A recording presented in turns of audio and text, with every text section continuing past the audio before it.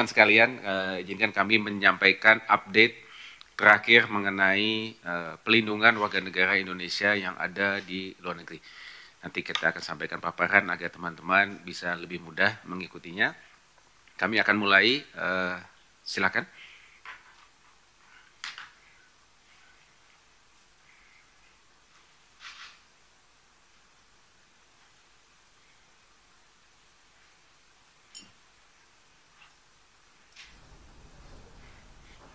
Baik eh, teman-teman, uh, uh, sejak uh, situasi terakhir uh,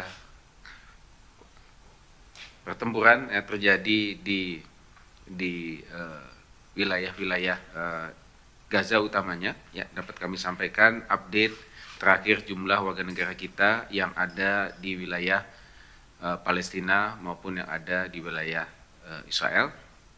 Jadi berdasarkan data per tadi malam ada 10 warga negara kita yang tinggal menetap di Gaza, 39 menetap di tepi barat dan sekitarnya, dan sekitarnya ini termasuk juga ada di Yerusalem dan lain sebagainya. Kemudian 94 pelajar yang ada di wilayah Sapir. Ya, jadi total ada 143 warga negara kita yang tinggal menetap. Jadi kami perlu highlight ini adalah data warga kita yang tinggal menetap. Nanti kami akan sampaikan data bagi warga negara kita yang melakukan perjalanan singkat untuk tujuan wisata religi. Ya, ini sebarannya di Gaza 10, Arafah 94, Beersheba 2, Yerusalem 9, Naharia 2, Tel Aviv 13, lain-lain 13. Jadi total ada 143 WNI yang saat ini ada di wilayah Israel dan Palestina. Next. Nah, apa saja langkah-langkah yang sudah dilakukan oleh Kementerian Luar Negeri dan juga perwakilan RI sejak awal uh, pecah uh, perang? Uh, kita langsung melakukan koordinasi intensif lintas uh, perwakilan RI. Jadi kita melakukan koordinasi intensif dengan KBRI Aman, KBRI Kairo, KBRI Beirut, KBRI Damaskus dan juga PTRI Jenewa sejak tanggal 7 dan itu sampai sekarang kita terus lakukan koordinasi intensif dan kemudian masing-masing perwakilan RI juga melakukan koordinasi intensif dengan counterpart masing-masing di negara masing-masing ya termasuk dengan otoritas keimigrasian untuk mengantisipasi jika evakuasi masuk ke wilayah akreditasi dari perwakilan RI. Kemudian kita menyusun rencana kontingensi termasuk berbagai macam skenario rute evakuasi. Jadi kita tidak hanya menyusun satu skenario saja karena situasi di lapangan sangat fluid ya belajar dari pengalaman evakuasi evakuasi sebelumnya berbagai macam opsi kita buka ya. Nanti dalam pelaksanaannya tergantung dari situasi yang ada di lapangan. Kemudian yang ketiga kita mengeluarkan travel advisory imbauan perjalanan pertama kita menghimbau kepada warga negara kita yang tinggal menetap atau yang berada saat ini di wilayah Palestina dan Israel untuk segera meninggalkan wilayah tersebut. Yang kedua, kita meminta bagi warga negara Indonesia yang memiliki rencana untuk melakukan kunjungan termasuk wisata religi ke dua wilayah tersebut agar menunda perjalanannya hingga nanti situasi lebih aman. Ya. Kami mencatat bahwa masih ada beberapa WNI wisata religi yang masuk ke wilayah konflik tersebut dan ini tentu akan membahayakan situasi mereka. Kemudian kita juga melakukan komunikasi intensif dengan warga negara kita, utamanya yang menetap. Kita lakukan beberapa kali Zoom meeting, ya, termasuk juga kita membangun WA group saat ini. Jadi selalu update situasi terakhir keamanan. Nah, dalam beberapa kali Zoom meeting tersebut, kami melakukan briefing kepada para WNI kita mengenai rencana kontingensi yang sudah kita susun, termasuk langkah-langkah proses evakuasi yang akan dilakukan. Seperti itu. Kami tidak bisa sampaikan uh, detailnya rencana tersebut, uh, namun secara umum ya kita uh, akan uh, melakukan upaya-upaya evakuasi untuk menyelamatkan warga negara kita, membawa dari wilayah berbahaya ke wilayah yang lebih aman. Dan sebagaimana sebelumnya sudah disampaikan juga oleh Pak Jubir, komunikasi tingkat tinggi juga sudah dilakukan. Ibu Menlu melakukan komunikasi langsung dengan Presiden ICRC yang ada di Jenewa untuk mendorong dibukanya jeda kemanusiaan. Ya, koridor kemanusiaan agar proses evakuasi, rute evakuasi dapat dilakukan dengan aman. Kemudian e, Ibu Menlu juga melakukan komunikasi langsung dengan Menlu Filipina untuk kerjasama evakuasi karena Filipina memiliki kedubes di Tel Aviv.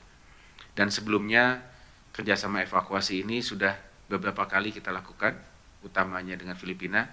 Dan sebagai informasi teman-teman, di tingkat ASEAN kita memiliki kesepakatan untuk saling membantu dalam keadaan darurat. Nah, pengalaman-pengalaman sebelumnya pada saat zamannya Pak Dubes Iqbal jadi direktur PWNI oh, ada eh, kita mau ikut membantu evakuasi warga negara Filipina tahun 2015 di Yaman.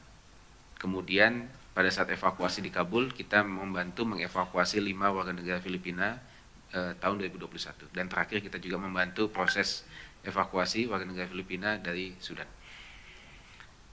Itu uh, beberapa eh, langkah-langkah yang sudah dilakukan sejak 7 Oktober hingga saat ini dan uh, tetap kita lakukan uh, intensif kerja apa koordinasi.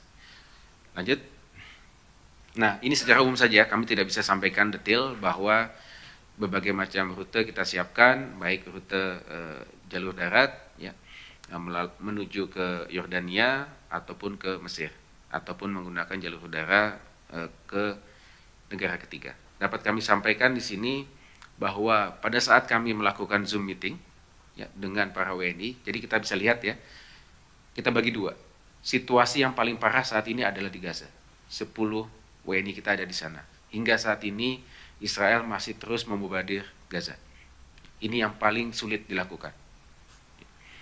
Kemudian yang kedua, negara, warga negara kita yang tinggal di wilayah tepi barat atau wilayah-wilayah yang lain yang ada di wilayah Israel total ada 143.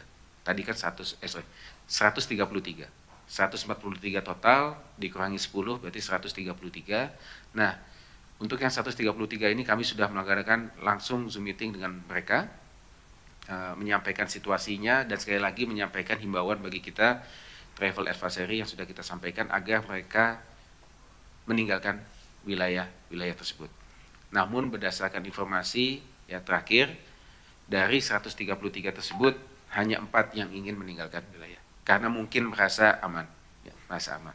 Sekali lagi perlu kami tegaskan bahwa tugas negara ya adalah mengamankan, melindungi warga negara kita dari wilayah berbahaya ke wilayah yang aman sesuai dengan Undang-Undang 37 tahun 99 mengenai hubungan uh, luar negeri.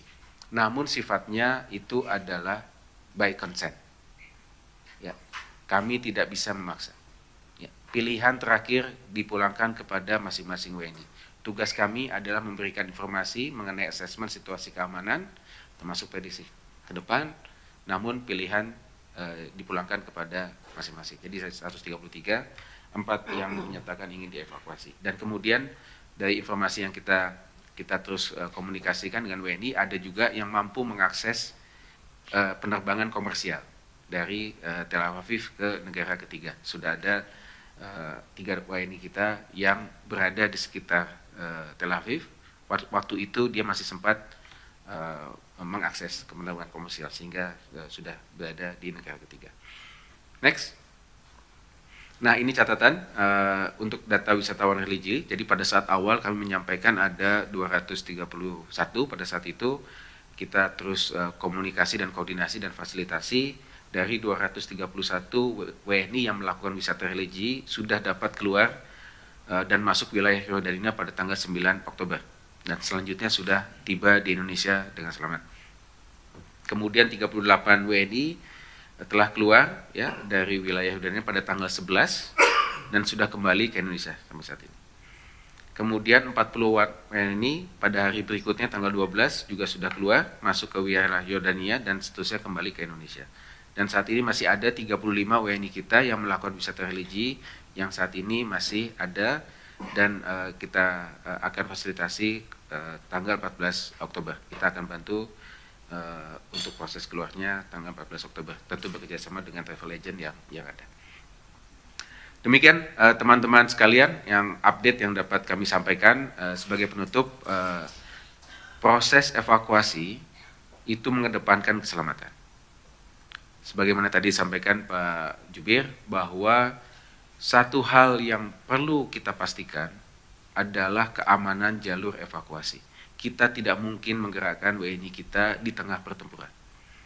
Jadi proses evakuasi utamanya yang ada di Gaza hanya akan kita lakukan ketika ada jalur kemanusiaan. Nah ini yang sedang kita terus upayakan ya, sehingga WNI kita bisa keluar dari wilayah Gaza dengan selamat. Demikian uh, update yang bisa saya sampaikan. Terima kasih. Assalamualaikum warahmatullahi wabarakatuh. Terima kasih Pak